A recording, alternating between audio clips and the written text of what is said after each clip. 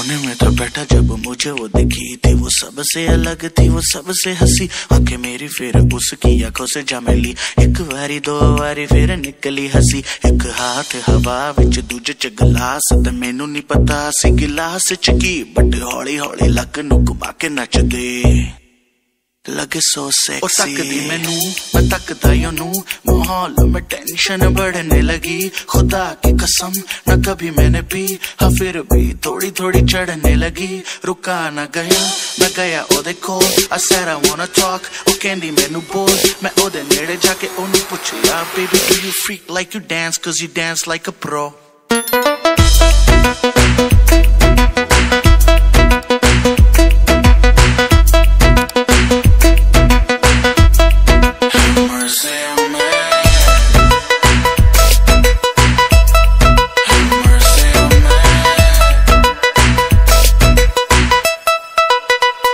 जैसे हिलती है वैसे मत हिला कर। लगे मुझे रहेगी रब से मिला कर। बारी तेरी हार देना चंचला फर। तेरी माँ ने तुझे बड़ा किया क्या खिला कर? रुक जाए दो when you get down low कर लो रहम, थोड़ा मेरी मानो। ऐसे मेरी जान, ना मेरी जान लो।